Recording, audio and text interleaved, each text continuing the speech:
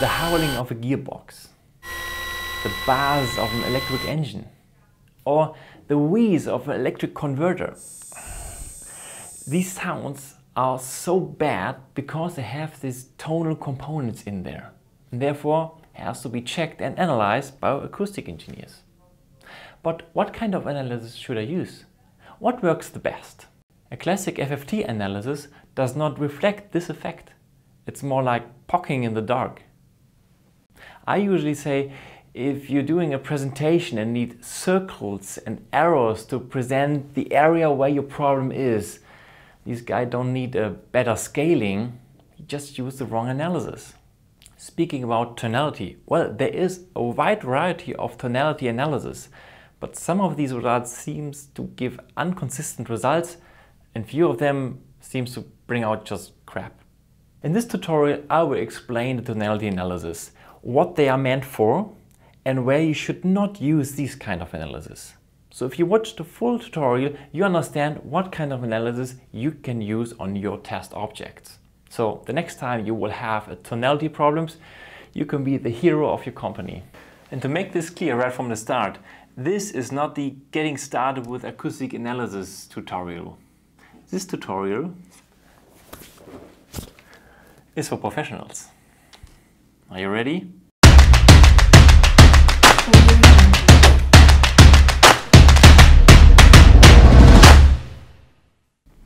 So welcome to the course.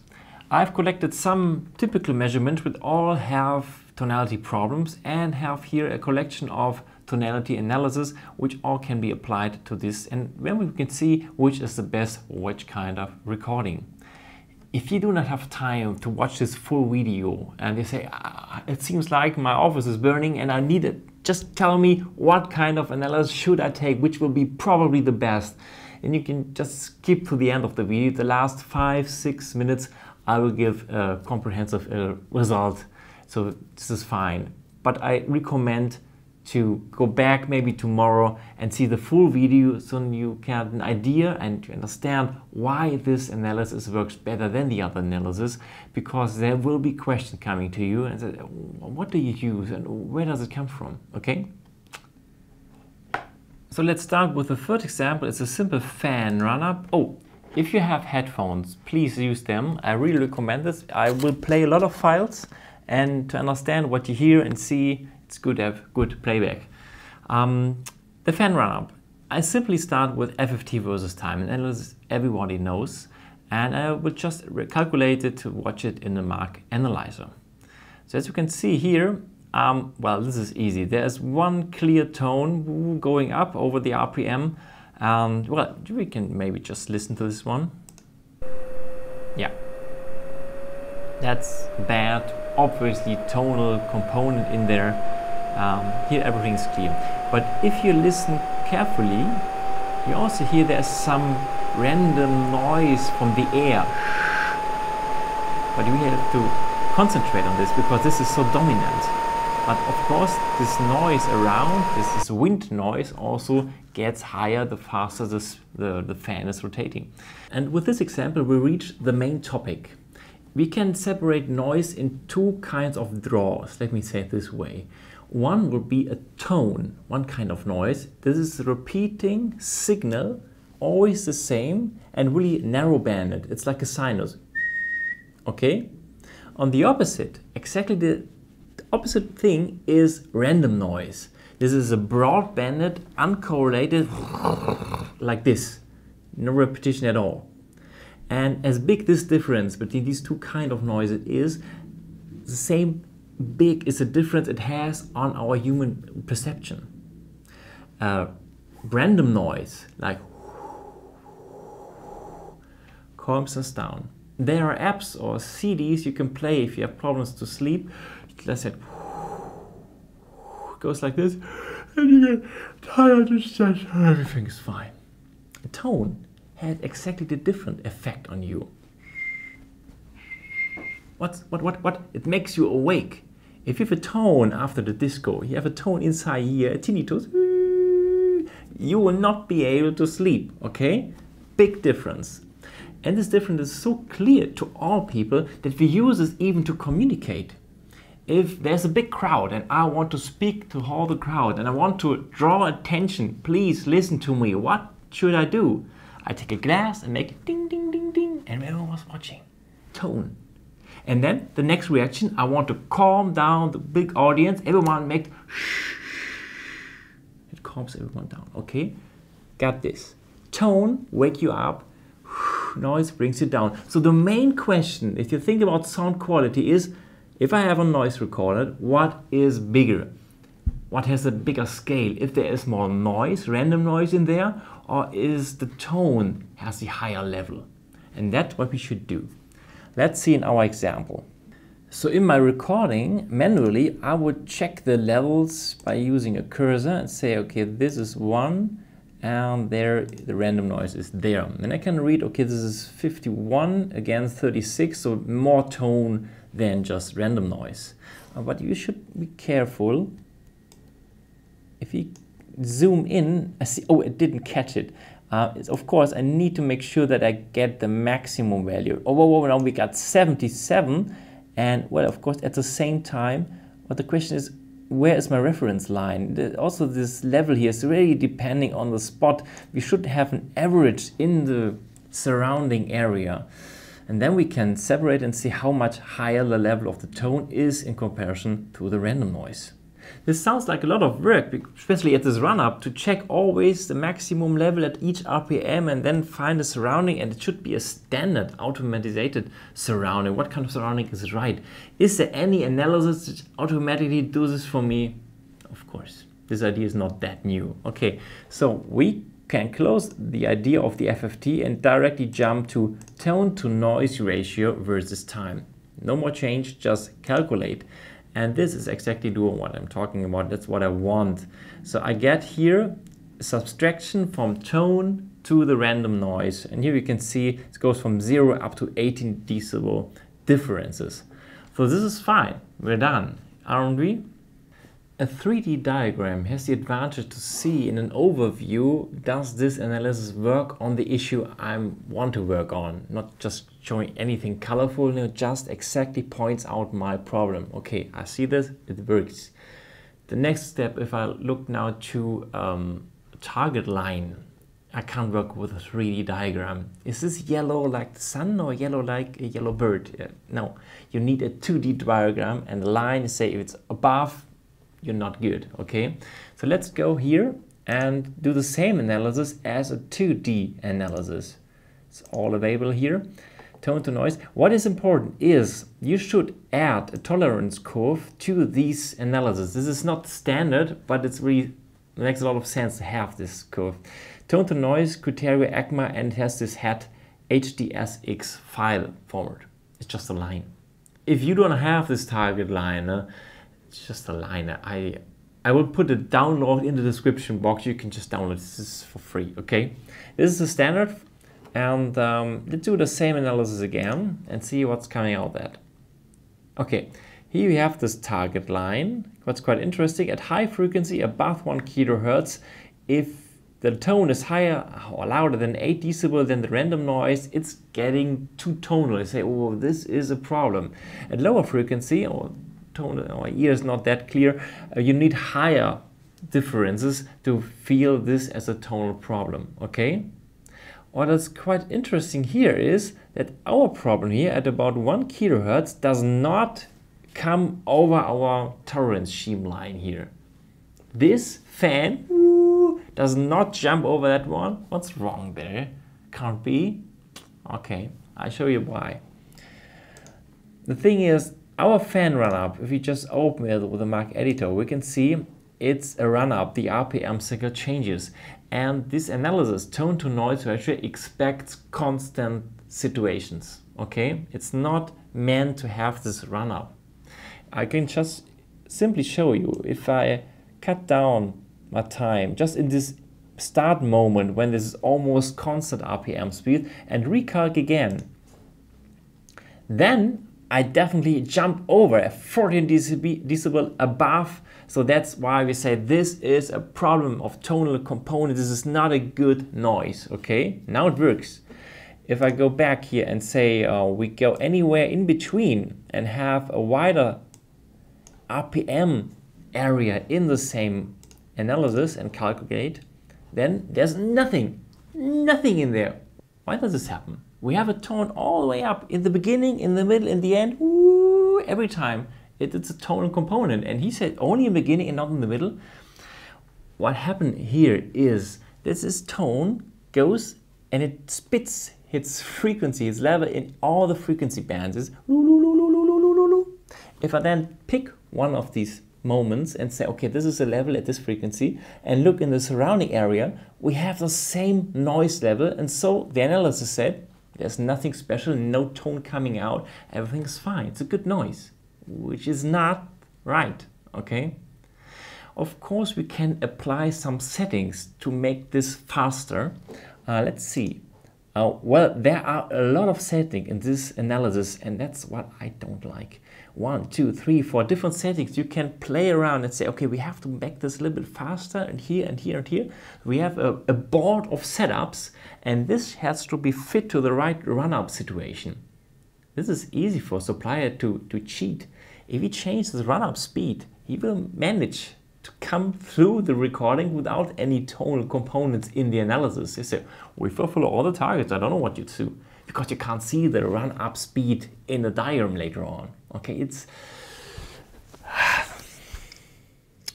okay, there's also another effect what I don't like about tone to noise ratio. It's the total level. This analysis just go there and take the tone and compare the difference in level to the surrounding noise and say 10 decibel. And it doesn't matter how loud the level is. Is this true? It doesn't matter how loud the level is, it's just 10 and this is important? Let's check. Um, I just play back the speed here. Okay, maybe a fixed area here. And this is a normal noise. Well, it's tonal. And now I will raise the level of the noise and the tone at the same time. Just play it louder. And for me it's definitely more prominent, more annoying. It's ah shit, shut off, I can't sleep at all. But if I go now to a lower level, like here, it's not that bad. I think I can sleep now. Okay, so on human perception, there is a big effect how loud the total level is.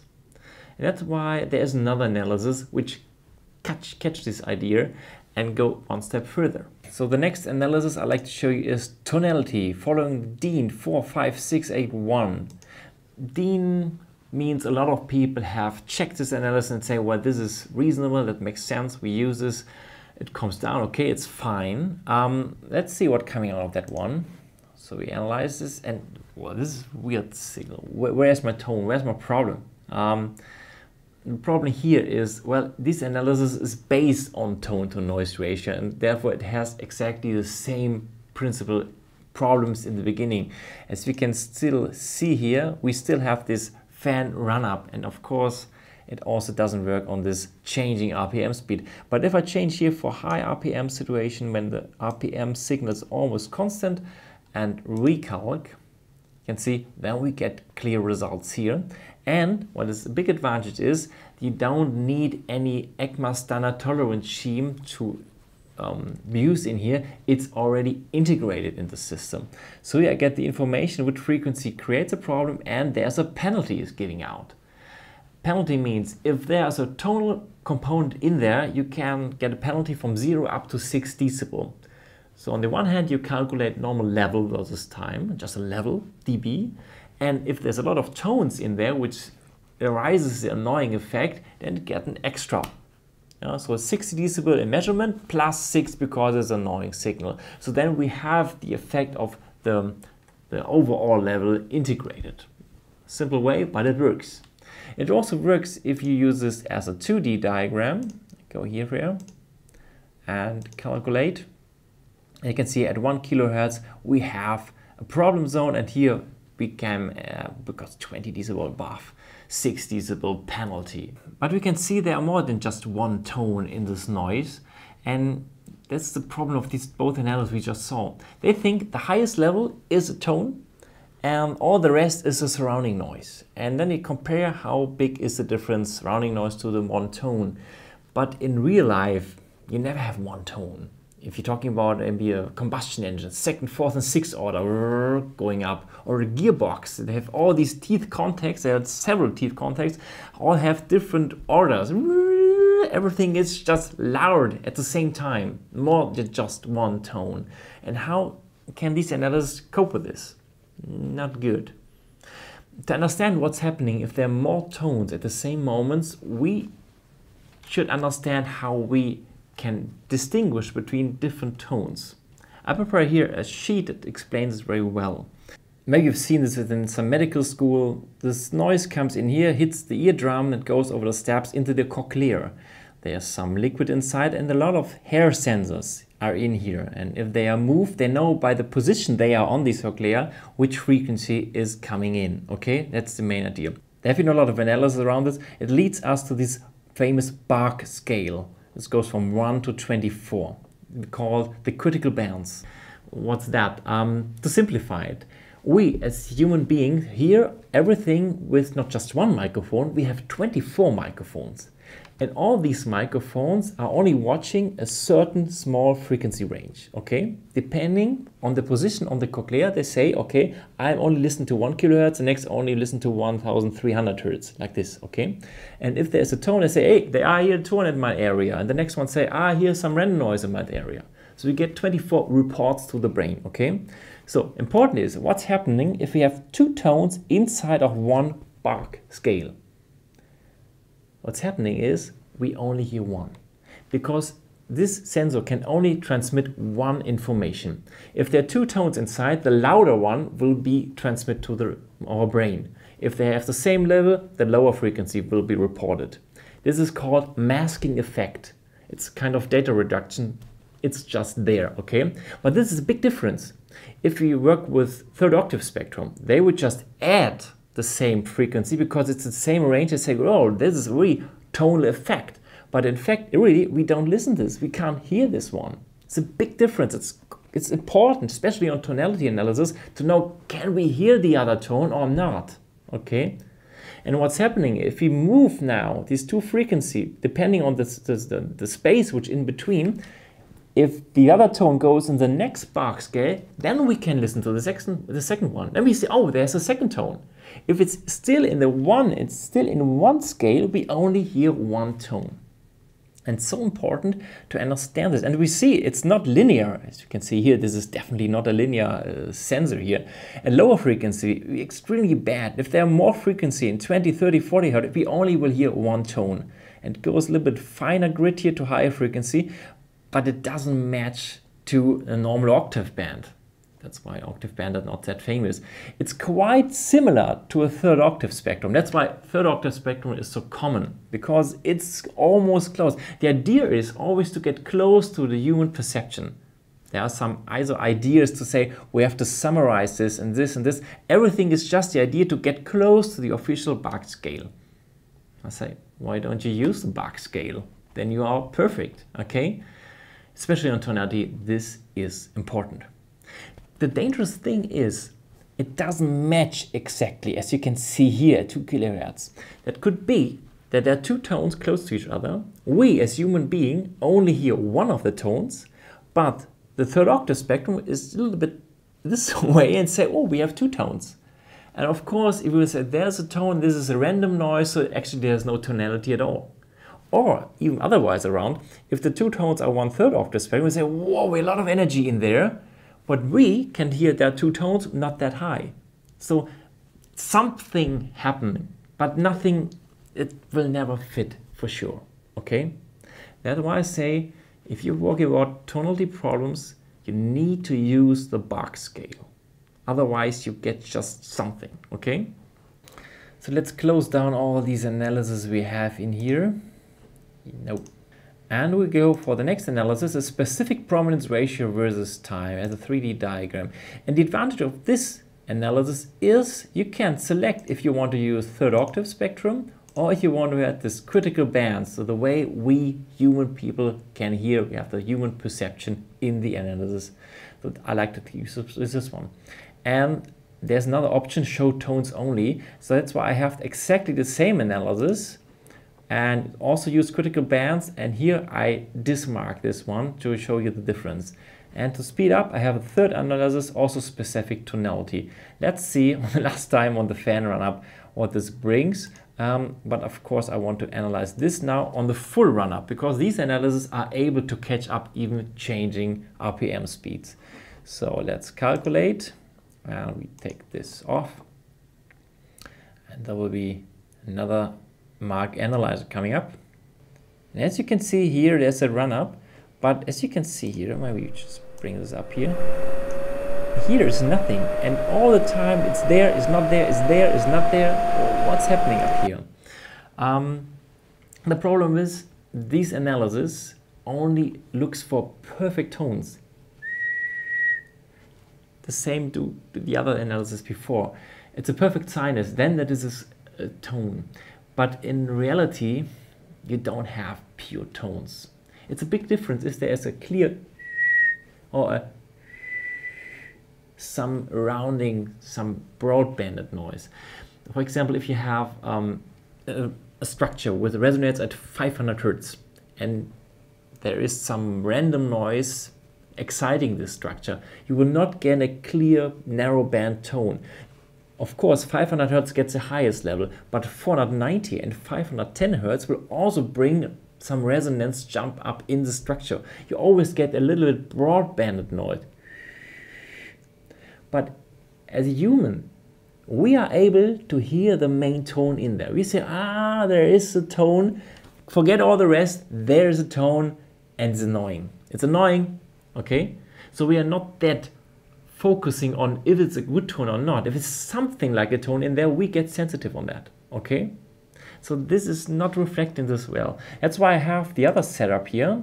Take this off and just look for without not just looking for tones. And here we can see, okay, this is fine.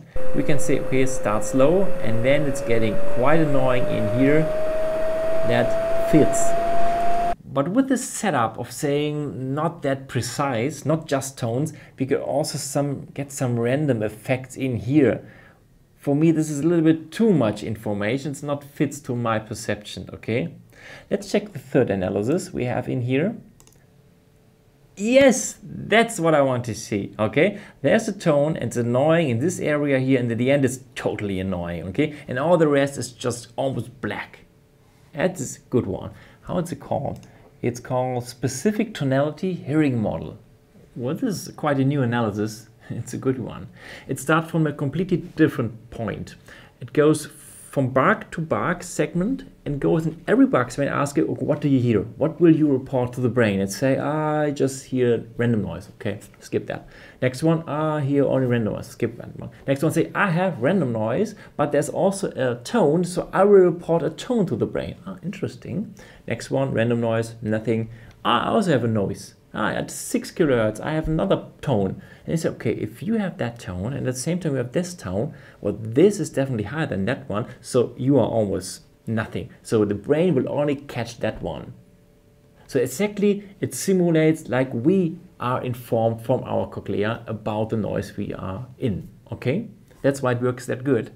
And another big advantage is that we have, for the first time, a single value gives us the information about how annoying is this noise. Here we have a tonality about 2.53 TU-HMS.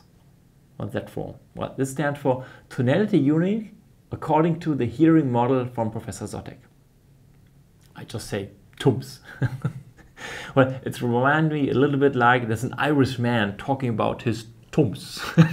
okay. Um, the advantage is if we get one value, we so just by the value we can say if it's a good or a bad noise. As a rule of tums, oh, one joke. Okay. As a rule of thumb, we okay. As a rule of thumb, um, we can say at 0.1 tums is just starting to get tonal. You can see, okay, there is a tone, I just get it, but it's not a issue. It's just getting to have this tonal effect, okay? At 0.4, we can say a TUMS of 0.4 is more tone, it's prominent tonal. We say, okay, this is a tonal noise. It's not a problem, but it's like a gearbox, of course, always makes some tones. At 0.8 is my personal limit. I say this is now a problem. But this is a limit you can set on your own, maybe at one, depending on the, the, the object you're measuring. Yeah? You can say this is our limit.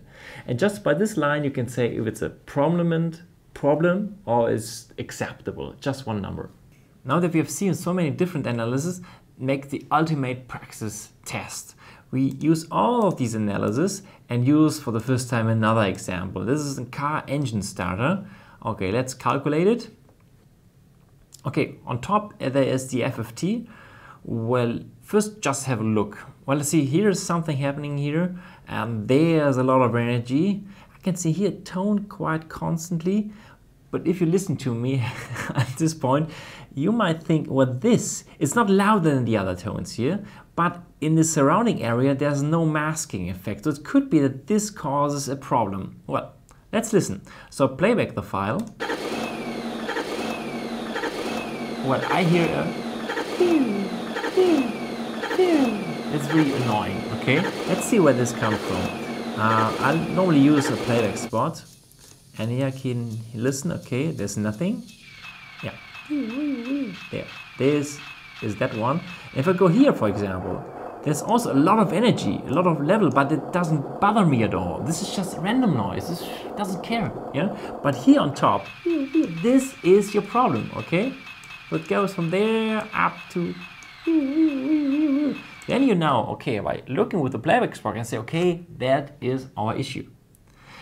Now you're looking for analysis that directly gives me the information without listening that there is a problem, okay? So let's check out the next one.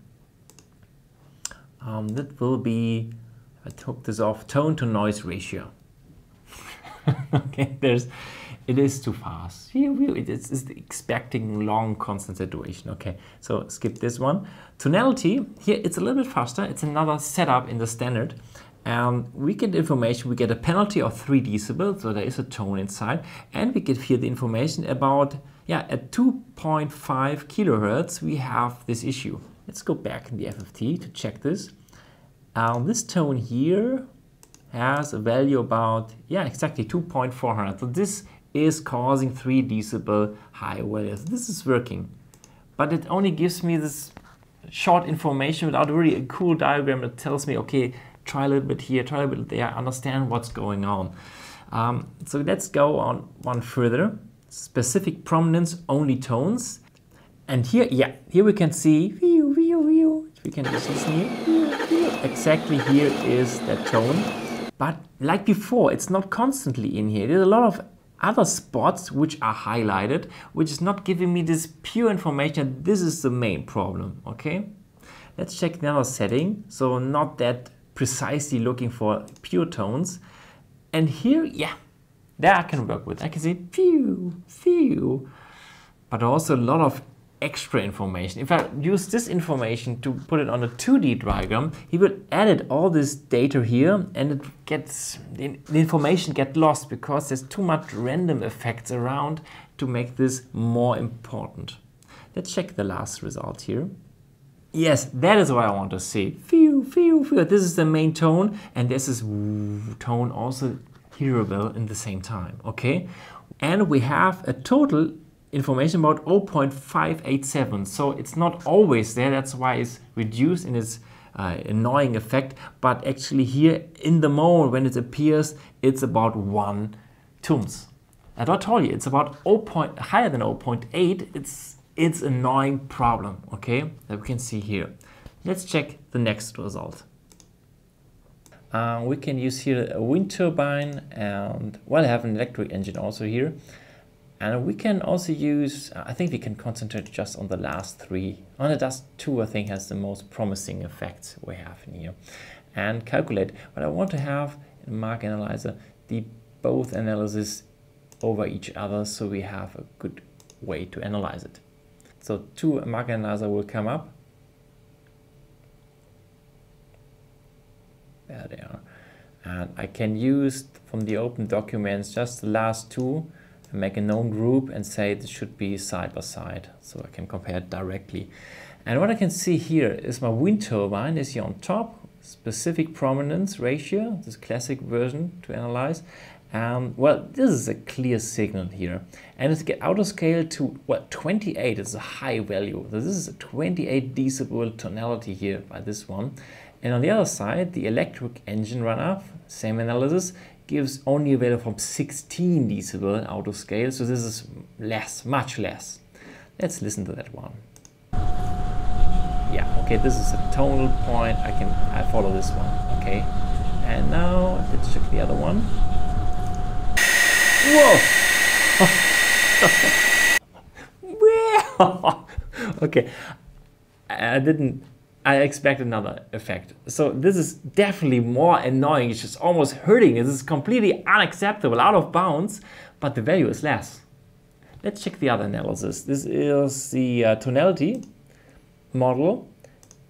The wind turbine get a value about 2 tones and this one here, ah, shit, it's about 3.4. So this is much higher, and that is reflecting my personal perception. Why is there this big difference? The fact is, the specific prominence uses the Bark scale. This is good, a good, important, necessary step, but it still calculates inside the level. So if there are two signals inside, it's calculating its level. It's not here what the loudness which is inside of each of the Bark scales. So the masking effect is not used and that is so important. Okay, that's why we have completely yeah, wrong settings that come out of this using specific prominence. Okay, here I can see 1.3 as an average goes to 1.6. So of course not always it's that bad, but in total it's completely annoying and it has some really bad issues here. So this example, you can see it's good to use a Bark scale, but it's had a high advantage if you also use the loudness for each single Bark segment because exactly what we hear is then reflected in the analysis. Let's go for the next example. So not wind turbine, no electric engine. We just take a sprinter, small device, but can create noise. I think it's interesting to see all the analysis we talked about today in a direct comparison of this extreme example. So let's calculate, put all in one Mark analyzer. And the first analysis we will see will be the FFT versus time. Well, just have a look. Here's some noise repeating itself. Uh, we have some clack, clack, clack effects, but um, he, well, this could create a problem, but nothing else. Now, now let's listen to it. Oh, listen. Okay, that's what you hear. A trick is, if you want to understand what the annoying problem is, try to imitate the noise that you hear. So this printer makes something like and then you know what is important. Okay, this is squeak, rattle noises. There's another analysis just concentrating on these effects. Um, not in this tutorial. This is another tutorial, okay, later. We talk here about tonality and there I hear softly a whoo and then do it, do it. This is my printer, okay? So where is it? Not to be seen in the FFT. I just play back and try to find it with, help, with the help of my playback spot. So on top there's nothing. Let's go down. Oh, hold on. too There it is, okay? Here there's nothing. Ah, here, here, with the cursor here, it appears, so we can concentrate. There again. Okay, it's anyway here. Zoom in. Oh yeah, okay, there, this little fella, this little fella causes the main problem. I haven't seen it before in the FFT, okay? Now let's check out the tonality analysis if they can directly tell me there's your problem. Okay, um, first of all, zoom out again, go for normal, so we go back here and check out now the next one. That will be tone to noise ratio. Okay, there's just nothing. This is too fast for this analysis. We know this. Okay, this is for constant situations. Okay, um, let's say the tonality and no decibel setup, no penalty, didn't catch it. Okay. Um, specific prominence, only tones. Yeah, if you play back the file. There. If you know what you're looking for, you can see there and there is a noise, but it's not that prominent. if you look, a lot of spots are in there, so not that clear that this is the main problem. So let's check out the specific prominence with a wider range. Yeah, and that's for the first time I can say, okay, just by the view, beep, beep, beep, I can see there is a hotspot. But again, there's a lot of extra marked areas, so the average will also be not that clear. Let's check out the last specific tonality. Okay, there is clear. We have weep, weep, and this is the main causing problem this model. Okay. All right, and also we have a 0.48, that's what I told. On total, this printer appears as a annoying tonal, rule of thumb, you remember? 0.4, you say, then now it's a tonal component. But in the short moment here, we have something about one. So this is, in this moment, it is too annoying, okay? Additionally, I can see that this analysis gives me exactly my perception. Do it, do it, do it. Okay, so I know it works exactly on the problems. This gives me the courage to say we can go over to 2D diagram because now the value which is here as a color will be presented now as a line going up and down. Let's check this. Maybe this is the summation point for all the people who have jumped over over the full tutorial. Let's make a final summation. We have found a new analysis called specific tonality hearing model. Let's check this out. I just take a 3D diagram and there are 2D diagrams for that one. I just pick tonality hearing model versus time, so the total value of being tonal, and also tonality, the frequency, the annoying frequency, the problem of your measurement is just displayed in a graph. And then we use this, maybe, yeah, just on all these setups we have, all the measurements, and press calculate. Now for each of the recordings, there will be one mark analyzer. So five mark analyzer will now appear. So let's start with the first mark analyzer. This was the run-up of the fan, as you remember. And here on the 3D diagram, we see the levels rising here and here again, the annoying effect. And this we can see now in the 2D diagram. It's a binaural recording, left and right ear. So there is a hill, it gets a little bit less, but in the end it's get totally annoying. So this is not something you like. And you can see here, we are above three toms, so this is unacceptable. And on the lower diagram, I can see the main problem frequency. It starts from 400 Hertz, 500 Hertz, going up to 1 kilohertz. This is your problem line, okay? Next recording.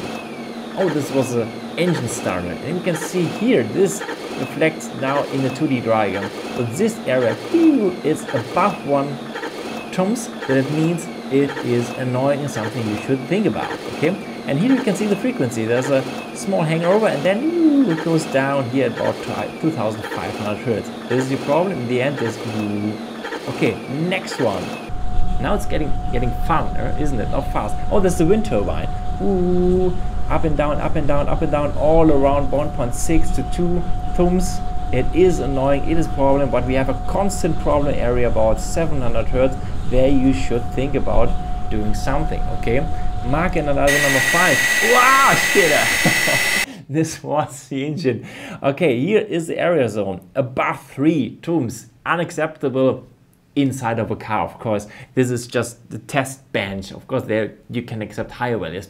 The big advantage is now you can set, okay, if you want to apply your gearbox in my car, then you have to follow just this line. You have to be below uh, maybe 1.5 toms and now then it will sound good according to tonal effects. It's much easier than talk about second order, fourth order, sixth order, octave bands, third octave band, a lot of lines and hoping that if all the lines are covered, then it maybe sound good. Just one thing and it you're safe okay it's big advantage and you can see here your main problem zone is about 2 kilohertz sometimes if this drops your area goes on higher orders but the main problem line is this one okay the last is we can play back do we do we the printer there is a do and the beep. Do we, do we, there is the area zone. It's about, yeah, just getting annoyed. And here you get the frequency. Almost 100 hertz is the boom noise, and you get this beep at 2 kilohertz. Really soft tone, but it is the main prominent tone that you say this is annoying in the printer. Okay? Now we get everything analyzed so fast. I think you feel that I like this new analysis. It's extremely powerful. It picks out in this full noise spectrum we have just these few tones which annoys me, which are representative for my noise problem. This is a turbo in the development process. Even that it's quite new, it's directly jumps from zero up to my top five favorites analysis that you should know as an acoustic engineer. Maybe you should make some video like my top five acoustic analysis for professional guys, something like this. I think the people will like to see that. If I got the time, okay? Stay tuned.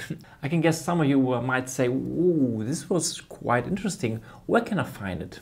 Okay, quite easy. Um, just here, analysis pull right mouse click insert and then you type in tonal and there it is. Specific tonality hearing model, 2D, 3D diagram, everything is in here, over RPM as well. Okay, if you're not seeing this in your program, there could be two reasons for that. First, you have the wrong version.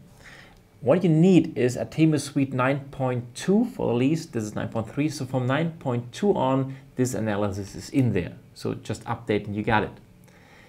If you have the right version but you can't see it, the second reason would be you not have the right licenses.